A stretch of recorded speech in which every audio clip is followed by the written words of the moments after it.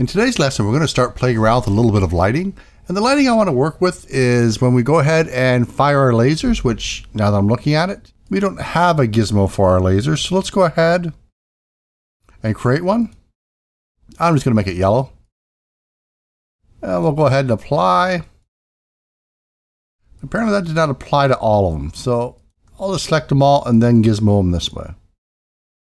Oh, I guess you cannot multi-select gizmo. I did not know that. That's fine.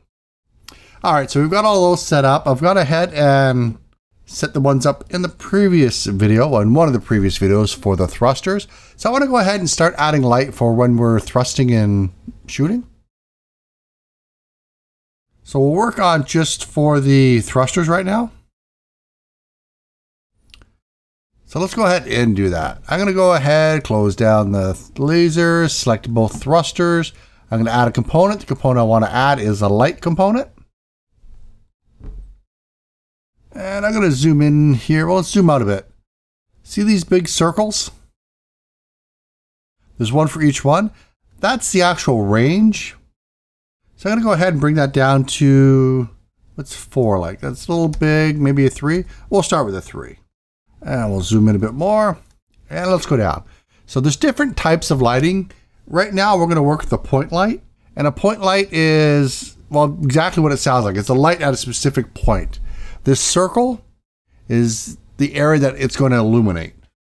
Anything outside of this, it's not. Now, there is that slow roll off that you get, so it's going to be brighter in the center and you know not quite so bright near the edges. But that's fine. What we really want is just to have it really bright near the center anyway.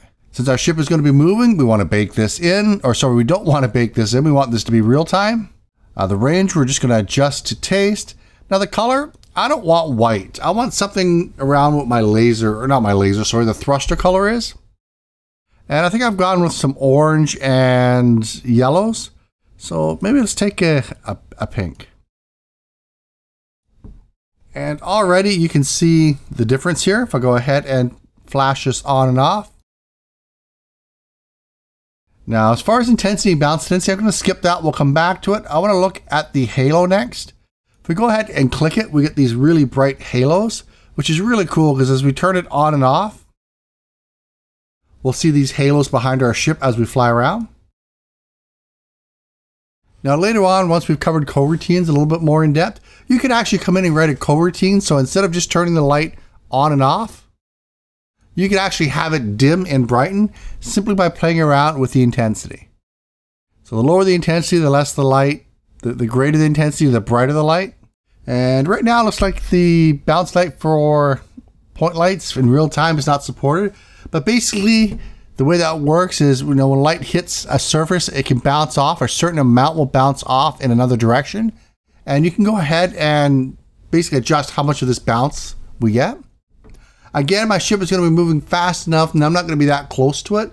It's not really going to matter that much to me. You'll see it pop up on asteroids once you actually go ahead and start putting models in for them. That's about it. Great. So we got a, we've gone ahead, added them to the thrusters. Uh, there's a few more things we look at here. Shadows right now have no shadows. You could go ahead use hard shadows. And if we notice a little bit of difference in here, and even soft shadows, which will look a little bit better, a little softer around the edges. My ship, again, is going to be moving fast enough that I don't think I really care. I could probably leave it to no shadows and really have no impact on the actual visuals of my game. But again, it's one of those things that's completely up to you. What do you want? So I'm actually going to leave mine at no shadows for now. Well, I guess we'll have a little bit of shadow. Since our main direct light does have shadow right now, We've got it set to a soft shadow, so let's just go ahead. We'll have a soft shadow set for these two flares as well. There we go. I'm just going to use the quality settings, and for the rest of the values, I'm just going to leave them the way they are. And two more things I want to point out. Uh, the halo, if you've ever gone ahead and shone a flashlight on the ground, you know that pattern it makes on the ground? That's the cookie. So you know sometimes you have like that instead of just being a nice big circle of bright light, they'll have those dark rings inside. That's a cookie. Each type of lens will give you a different type of cookie. Again, I don't want to download anything right yet, so I'll come back and cover cookies when we do. But flare, it's along the same sort of lines. When you look at a bright light from a, a certain angle, you get that flare. I'm sure everyone's seen it in a movie or other video games. Again, when we actually start downloading assets, we'll go ahead and come back and cover these as well. So let's go ahead and write a script to work with these. So I'm going to go into thrusters. We're going to go ahead and grab the light and I'm just going to call it, I don't think we can call it light because I think that's actually a reserved word. Let me check. It used to be. Yeah, and it's crossed out. So just to avoid any confusion with someone that might not be running an old or an up-to-date version, let's go ahead and call this thruster light. And I'm actually going to go ahead and make sure it's a required component, just so I know when I add this script to a new game object, it'll always be there. And of course, it's equal to get component. The component we want is the light component. And then when we turn it on and off, we'll just simply go ahead and say thruster light dot enabled is equal to true. And likewise, when it's passed in false, we'll just make it false. And by default, if we come back in, I just want to take a look here at my line renderer or trail renderer.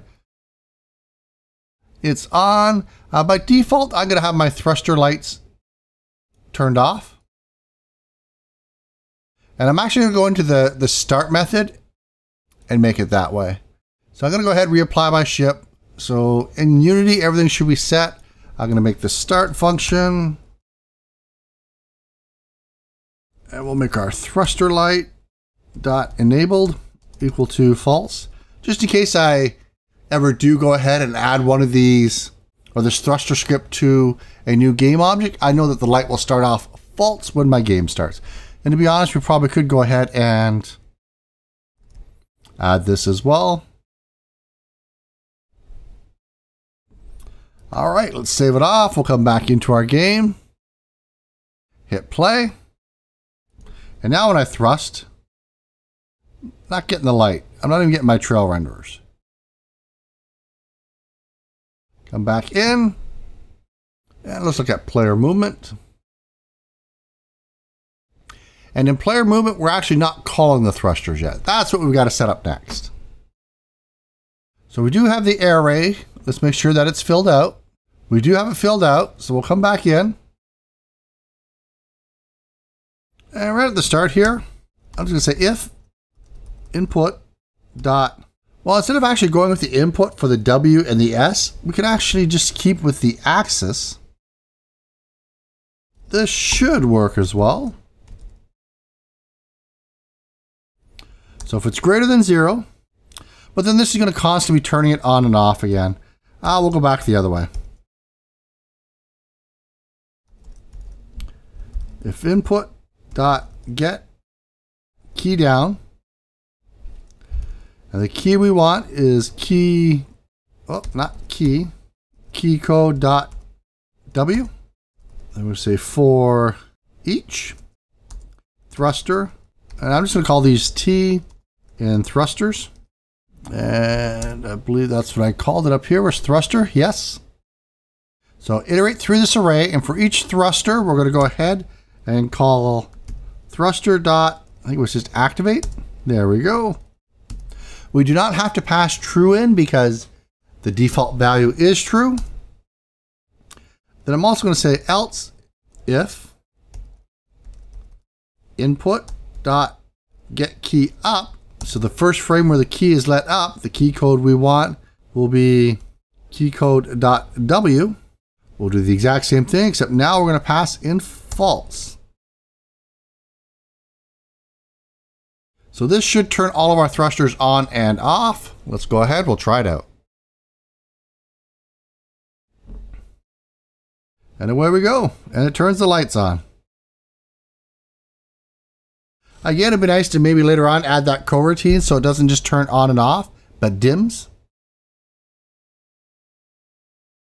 But there we go. Let's try to get really close to one of the asteroids. Um, my radius it's hard to see it affect the asteroid actually because we're going so quick. But the radius of my lights themselves are not that big. That's why I'm not too worried about shadows. Uh, it's not supposed to be some all-encompassing light that's going to affect everything in my scene. I just wanted to give a little bit of a visual as I accelerate. Anyway, that's it for this video. I want to thank everyone for watching, and I'll see you in the next one. Bye-bye. So if you like the video, go ahead and hit that subscribe button down below. It really does help me out here on YouTube. And go ahead and follow me on Twitter. I can be a pretty chatty guy over there when I'm not walking through a forest or being stalked by eagles and falcons, lions, tigers, and bears.